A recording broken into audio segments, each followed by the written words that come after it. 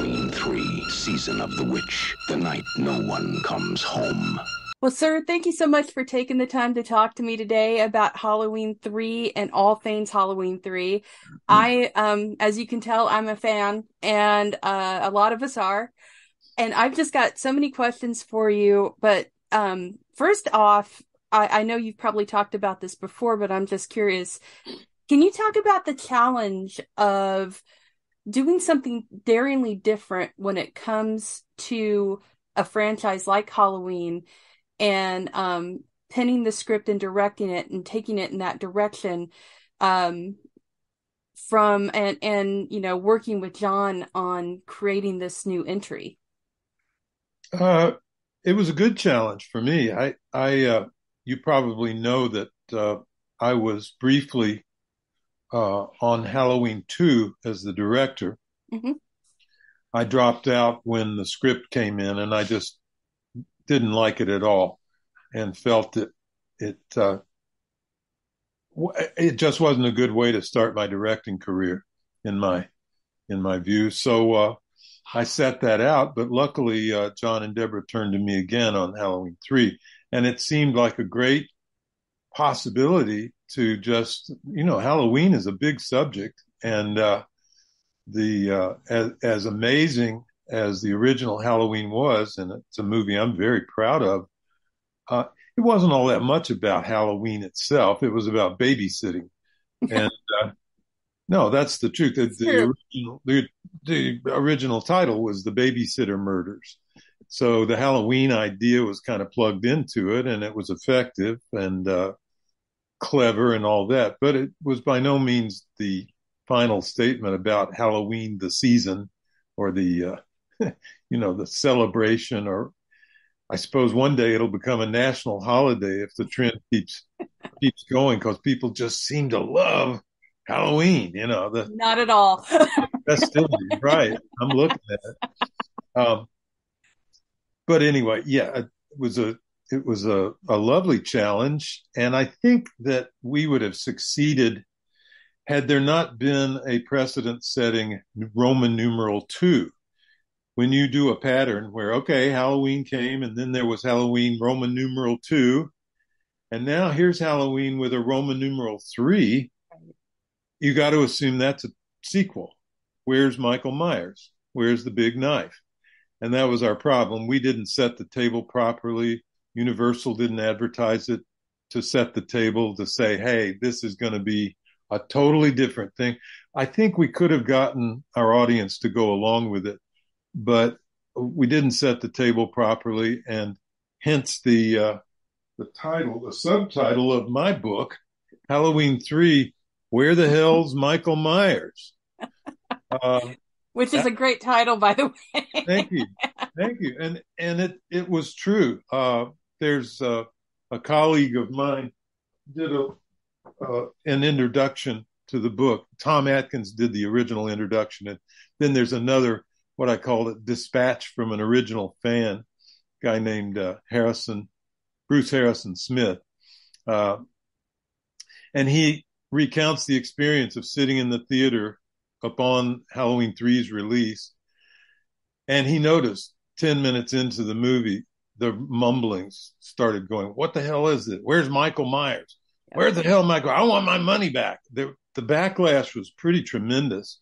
And it has taken many years for it to find its true audience and to, well, redemption is sweet. You know, it's got so many fans and I've got a pile of show and tell for you of the latest, the latest bunch of memorabilia. It's just uh, awe-inspiring, and uh, it, of course, feels really good that well, it's got um, this place.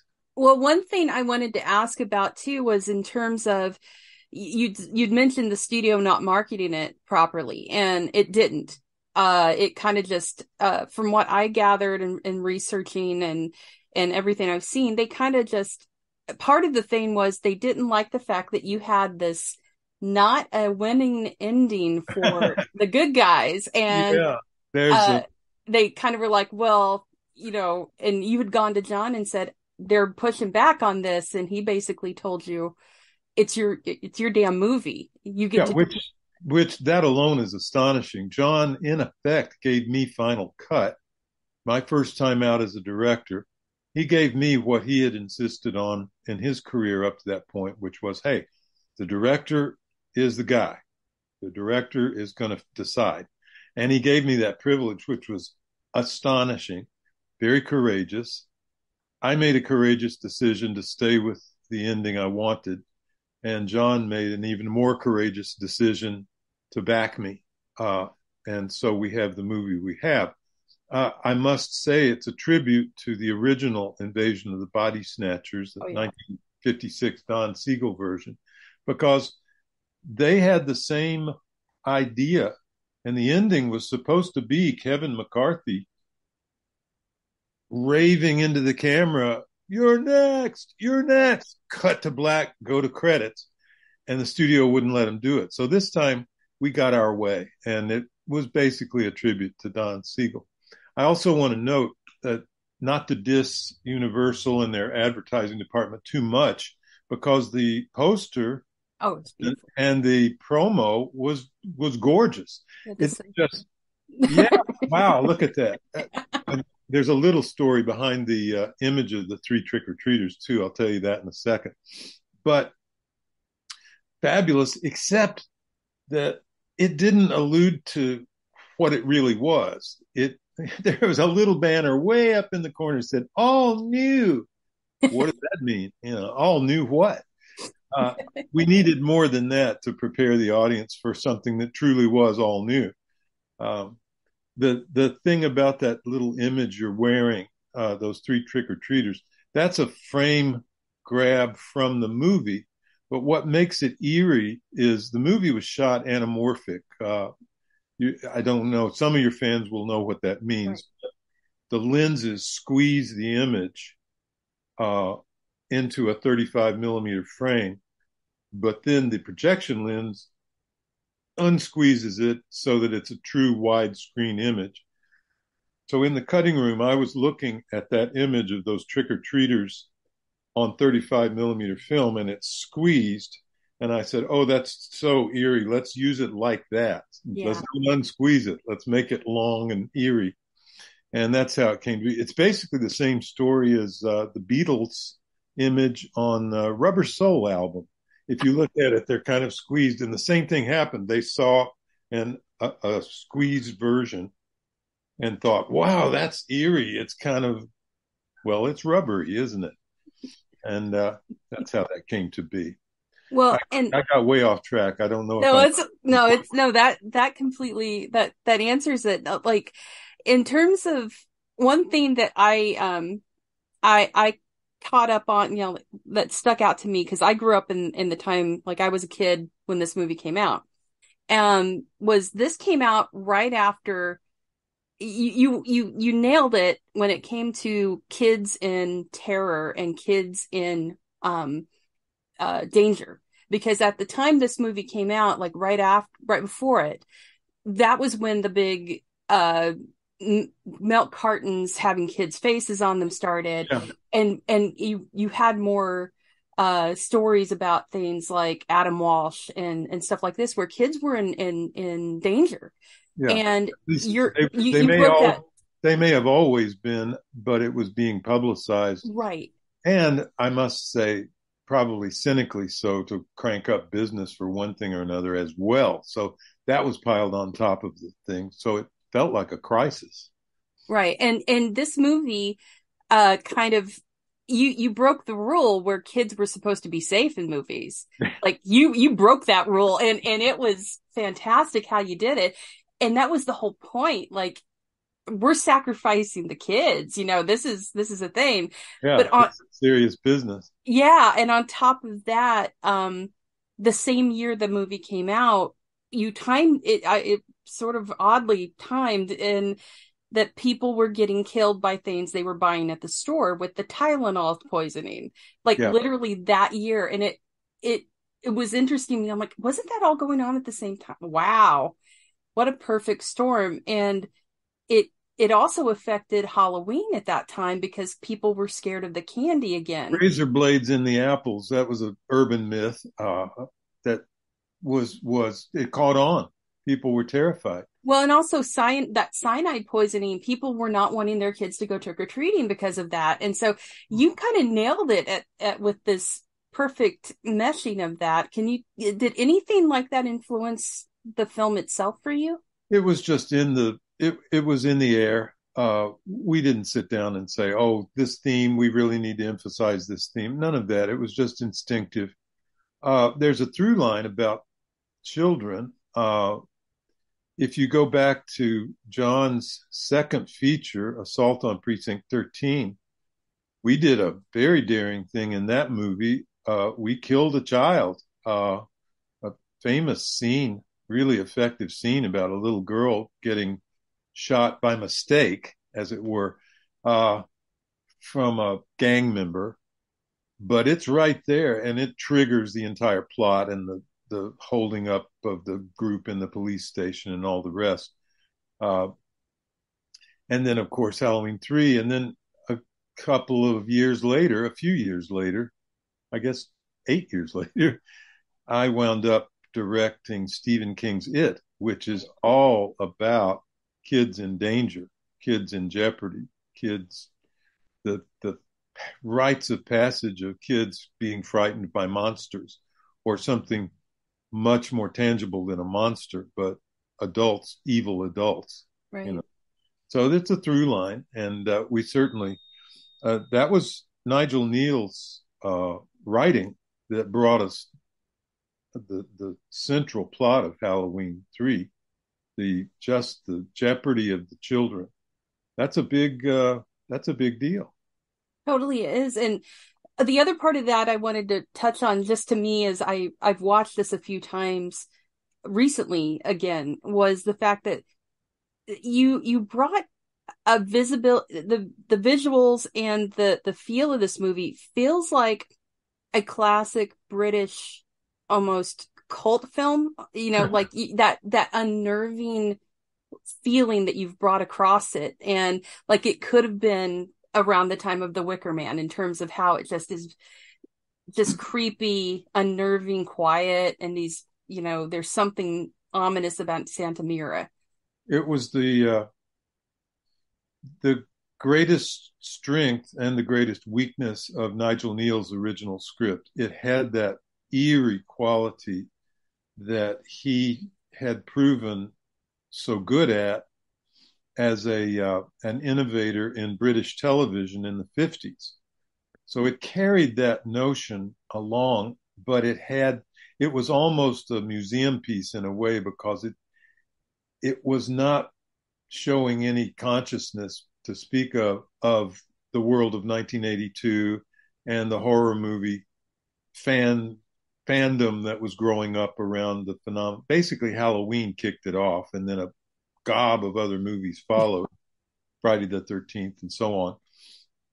Uh, that part Nigel had no real consciousness about. But you've nailed one of the most charming and strange aspects of his original script was it was it felt like a British psychodrama from the 50s, uh, the way he wrote it. And John and I both each did a rewrite to try and uh, not lose that quality, but yet bring the whole thing into the uh, 80s, if you will, in the US, because that but, was our first audience.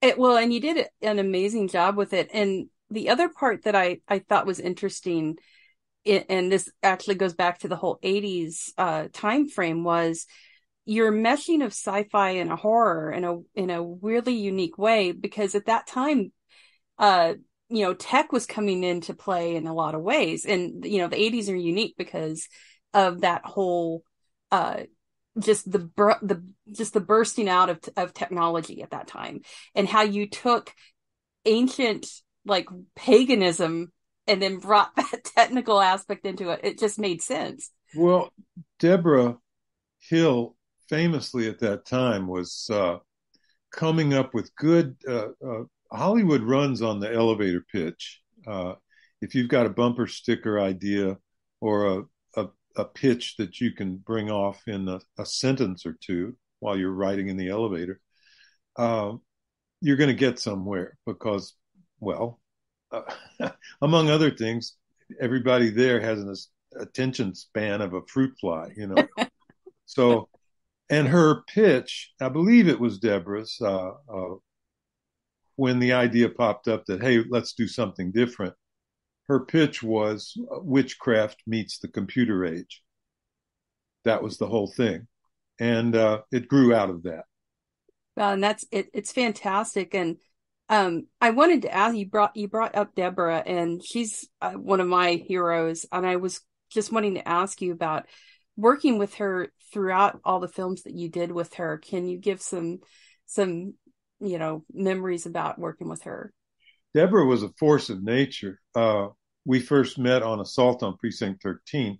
She was uh, the script supervisor, and then in post production, uh, she became a kind of quasi assistant editor because she would uh, basically this is a little rascals making a movie so it wasn't a conventional crew by any means. And in post production john was editing his own footage in lieu of being able to hire a full-time editor. And uh, deborah was coming through every few days and filing trims. He would f- fill up these trim bins. This was all on film of course. Right. Uh, he would fill up these trim bins and then Deborah would come by and file them. and even then she was, well, two things were happening at once. She was ambitious and she wanted to move up the ladder and she and John uh, became intimate uh, and became a couple. Uh, so then along came Halloween, and lo and behold, it was announced that Deborah would be producing. well, to the outsider looking in, it could have seemed like just the ultimate Hollywood nepotism. It's like, oh, wait, the director's girlfriend is going to produce. Oh, sure. uh, it, it didn't sound too good, but then that would be because one didn't know Deborah. Right. The fact is that she was very forceful, very smart, very hardworking. And lo and behold, on Halloween, she turned out to be an excellent producer, just the couldn't have had a better choice. And moreover, she uh, had worked a long string of super low budget movies uh, with several people who became instrumental in Halloween, that being uh, Don Behrens on the uh, production office side, he was the production manager, and Dean Cundey and crew, the director of photography, on the uh, picture side of things. So she brought along a seasoned crew ready to do something good. And John brought to the table himself and me and uh, a couple other people. Uh, and it turned out to just be a, a, a dream experience. We didn't have much money, but we were good. We were just good. And it shows, you know, John was, as a director, he was hitting his stride, finding his own style, very confident he ran a good set, uh, friendly and fun, but let's get it done. Uh, so, you know, lightning in a bottle is what happened then. Amazing. Well, and I wanted to talk to you about um, basically the the it's sneak there are some sneaky things that you did within Halloween 3 talking about Michael Myers that um I caught one thing of, and I'm going to ask if you can confirm this is true or not. Is it in fact a Michael Myers mask at the very tail end seconds of the first airing of the the uh, Silver Shamrock commercial that shows up on screen? Gosh, honestly, I don't know. Maybe somebody snuck it in there, but it wasn't on purpose. I, I was conscious. We needed a, a a scary movie for our little horror-thon yeah. that was taking place. And in fact, it was sort of serendipity that it turned out to be Halloween. Uh, it's it now seems entirely appropriate and sort of insidey and clever and fun, but in fact, it was one movie that we didn't have to think twice about getting the rights to. It was John's movie. Right. John was the producer of this movie, so there wasn't going to be a lot of argument about us having the right to use it in the movie. That's how that came about. But looking back on it, you know, there is Jamie Lee briefly. There is the shape wandering around with the knife. So I loved that we included the original Halloween in our movie. Uh, in that way, it uh, it did sort of uh, allude to true sequel status, even though it wasn't at all a sequel. Well, I was curious too what you thought of the fan theory that um, in Halloween one and two, uh, and possibly the the the following films, that Michael Myers was actually a silver shamrock killer robot, and that's why he kept coming back. that's that's uh, some, you know, there are a lot of wild stories that fans dream up, and you know, more power to them. But I didn't, I didn't come up with that. Uh... well, and so uh, one thing I, I wanted to ask about as well was the guy I'm wearing on my shirt, um, Mr. Tom Atkins. Yeah. And, and Dan O'Herlihy, who I call him the techno pagan in this. That's good. I like. I, I, I love both of them. Um, Dan O'Herlihy just he kind of had a renaissance in his in the eighties as in in RoboCop and this, and then somehow they talked him into wearing all of that makeup in the Last Starfighter. Um, and I just was curious if you could talk about uh, working with him in this as well as Tom Atkins is that perfect kind of broken hero that he played in this movie. Yeah, yeah. Uh, I loved Tom in the role because it was unexpected. The thing that you see, not just in Hollywood, but in a lot of independent films too, is that, okay, we need a leading man. So let's get this average, kind of cute looking white guy who's about 23 to play the part. And so often it just goes, it just blands out it's so vanilla. It's just vanilla to the point of being like, will these people get a clue and cast something interesting, someone interesting of any color, of any shape, yep. of any size? You know, it, it just, you know, any, anybody. So the, the idea when Annette was again, it was Deborah's idea, I think. Uh, how about Tom? Because I'd worked with him on the fog. Uh, we were running in the same social circles. Our mutual friend was Adrienne Barbeau. Uh, so we were familiar with each other and uh, couldn't say we were friends, but I knew of him. And so when Deborah mentioned him, he went right to the top of the list. You know, there's always a list. Uh, and he went right to the top. And I think this idea, as you put it, you know, a, a damaged, flawed hero, if not a downright anti-hero, uh, fits. It fits the movie. It's it's textured and different. He's not young by any means, and he's not cute.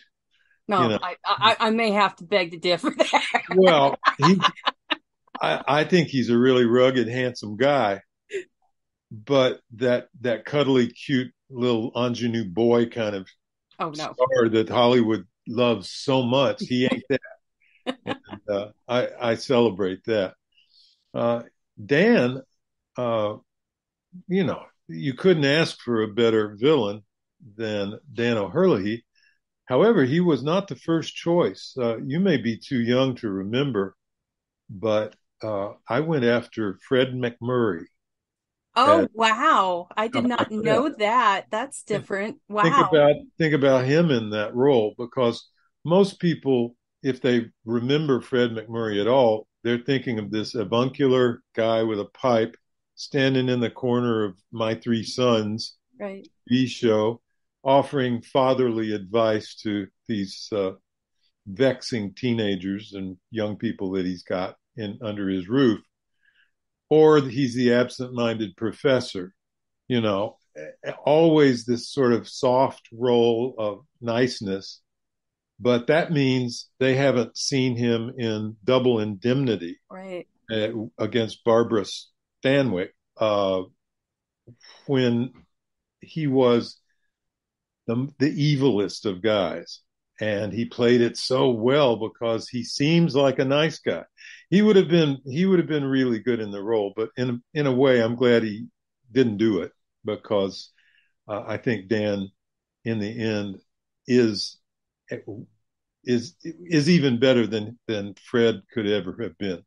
So, oh, but, he he just did it. He just he he was so Irish. Yeah, and it and it came. Well, he comes he comes by right. that. Honestly, he's yeah he is Irish. Yeah, and it just it it made it so much sweeter in a way that he was. Well, so, there's, there's so, affection there, and and also remember, good villains don't think they are evil. They he wasn't trying to hurt children. That was not his goal. He had a much bigger sort of tribal imperative. He says it, you know, it's time again. It's this is this is not personal. I'm not just trying to hurt children. We have to do this. We just to keep the planets in alignment, just to keep things in balance. It's time for a major sacrifice here. Yeah. Uh, that made it chilling because it's like, wait, he maybe he's right. You know. Well, that, and, and anytime of, there's like a belief system behind it, yeah, it's even more terrifying. It's like oh, they don't care; they're right. just going to do it. That's, right yeah, this is not a good and evil kind of thing. This is what I need to do, you know? Right.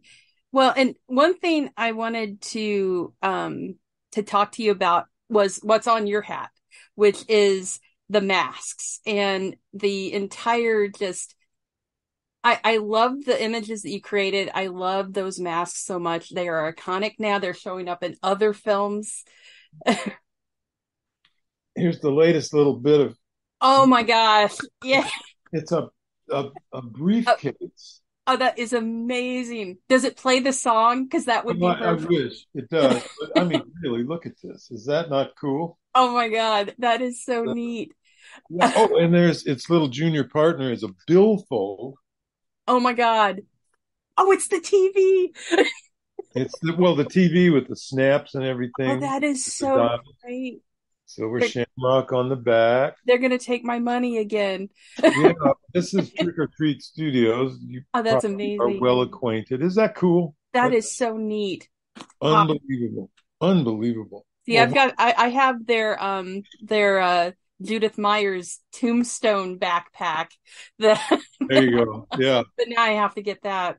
Great. I remember well when we created that tombstone, a big slab of styrofoam, and Randy Moore was a colleague in the art department. He and I laid it out. Randy and I were both adept with the X-Acto knife, and you, uh, you know, just carved carved into the styrofoam. That's and then I had learned on the Assault on Precinct 13 what you can do with styrofoam if you dab it with a little bit of uh, diluted lacquer thinner it eats into it, but not very much. So it becomes very convincing as a piece of granite. Oh, that's so cool. Yeah. I think that's... Randy, I, I haven't been in touch with him, but I think he recently sold that to a collector. Oh, wow. I bet. Yeah, I bet they made some money on that one.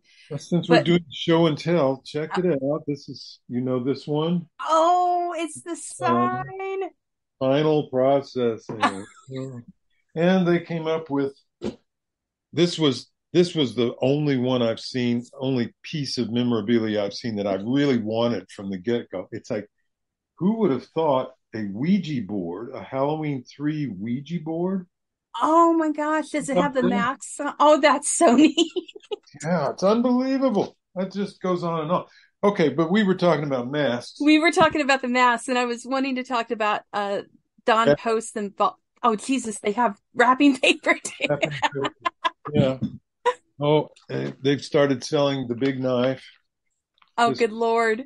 This, oh, is, this is a little less disturbing because it's a piece of wood and it's not sharp, or maybe it's plastic. I've seen know. the I've seen the real ones show up at the shows to get signed, though. Those are a little creepy when somebody walks up with an authentic sharp butcher knife, and it's like. Ooh. Yeah, yeah, you get a little icky. Good, good thing the prop wasn't a gun. like,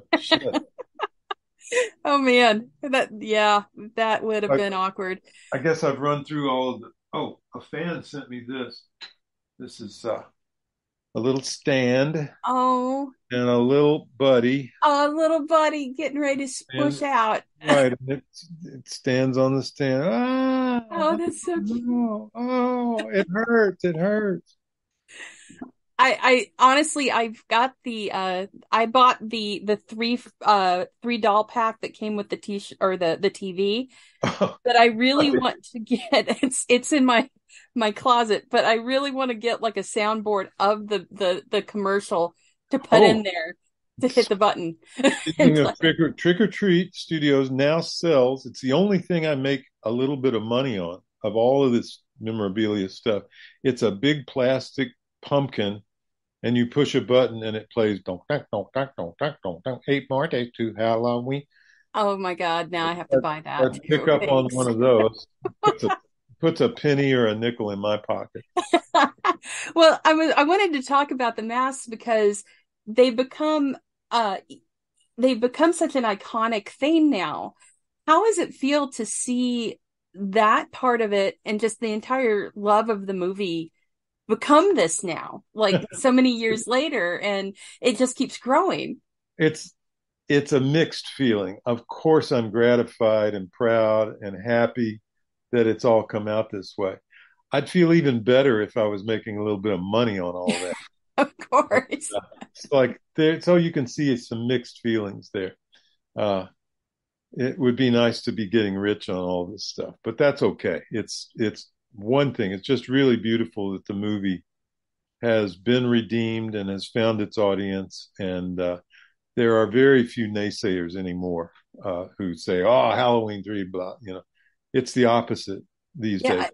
Anyway, about the masks, uh, my interest in and fascination with masks goes all the way back to film school when I made a uh, a student film, eight millimeter student film called Killer Clown, about an ordinary guy who wears a clown mask all the time, and that that set me on the road, I guess. And of course, with Halloween, I originated the uh, I adapted the uh, the Captain Kirk mask into what we called the shape. The script called it the shape, and uh, everybody just come to call him.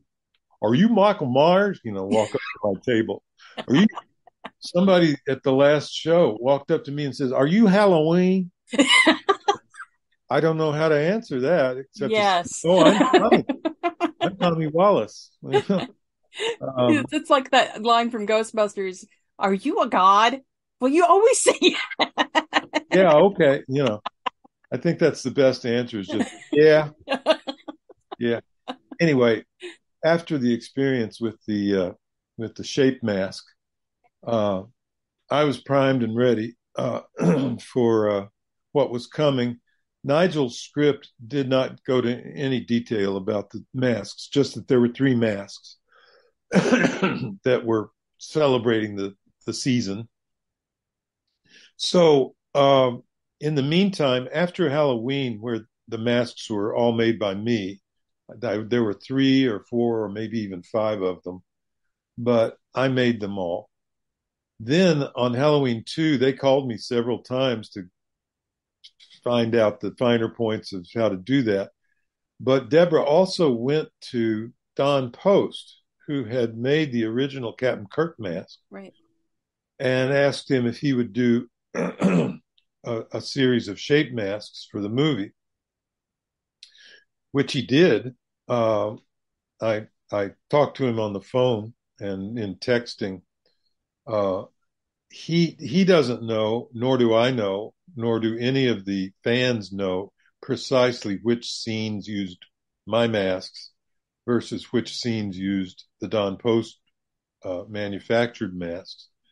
They do look from scene to scene a little different because I think Don Post used a thicker latex on the masks, the custom masks he made, than the original Kirk masks were. The Kirk masks were very thin latex.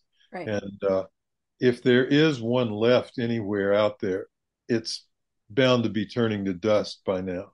Um, but uh, Don, uh, Debra was very clever producer. She is definitely worthy of your admiration as a just a go-getting kind of producer. She was very determined to bring all the money to the screen and not waste any. And so she worked out a deal with Don that whatever masks we could come up with, he would give us for free and let us use his facilities and even photograph the facilities, which wound up in the movie, uh, in exchange for him retaining the rights to the mask. That, that's a real coup, just a clever producing coup. She saved money.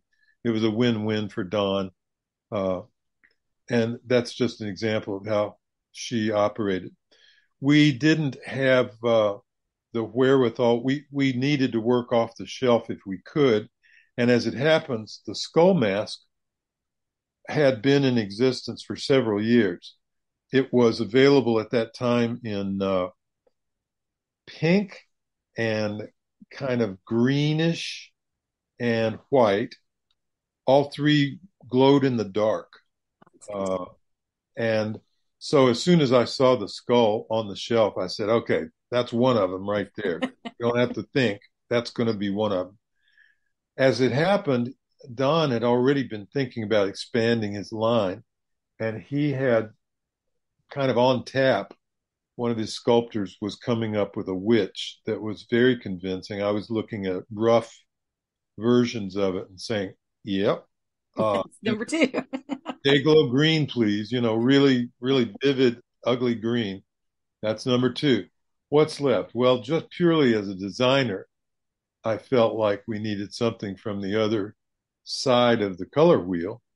And about at the same time in my head, it was like, what's the next obvious iconic image of Halloween? Jack o' lantern, of course. And so we actually, I think I sketched out just the kind of jack o' lantern I'd been carving since I was a little kid.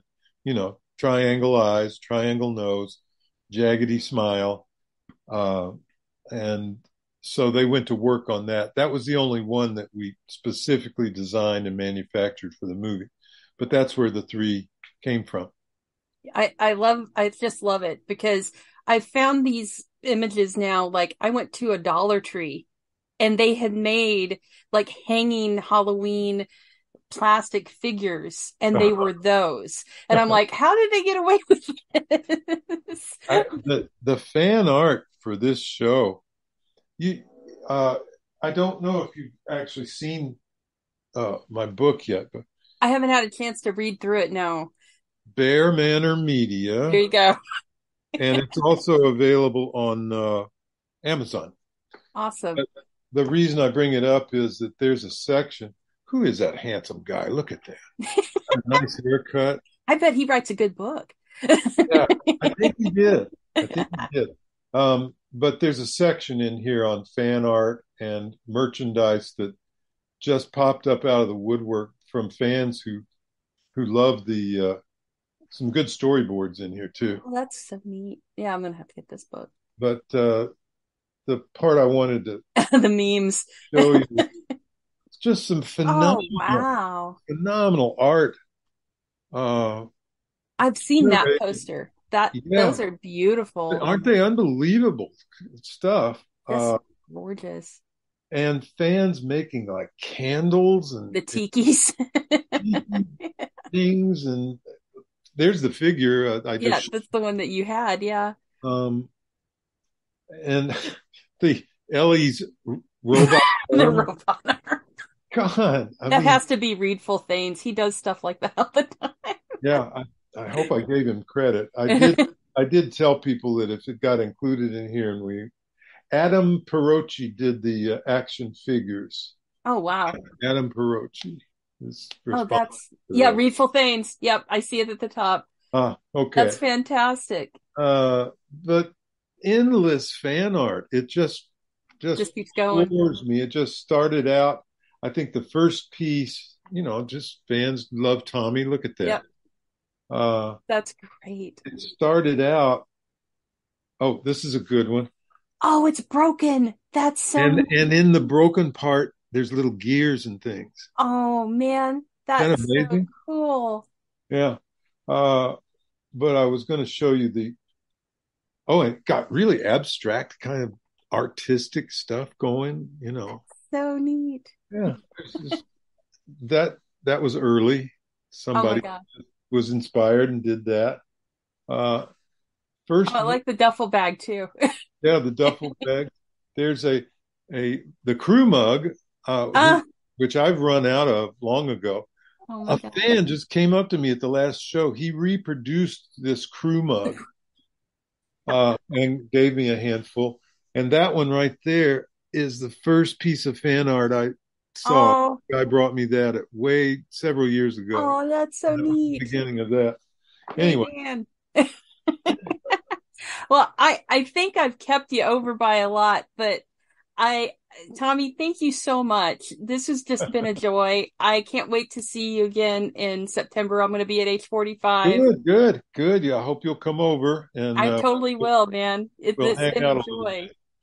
But thank you so much for taking the time for this. I, I hope you love this episode that we're putting together. And um, again, thank you so much. Will you send a win the link? You got it. You've got it. Thank you. Good. No Okay. worries. Thank you, man. And and now you've made me spend money because now I'm going to have to go to Trick or Treats page and and give you Yeah. some money, probably, hopefully, too, on that. So Hopefully, hopefully I'll get a nickel or something. get a nickel. Thank you again, and uh, you have a great rest of your week, man. Thank you. Thank you, Jessica. It's been a pleasure.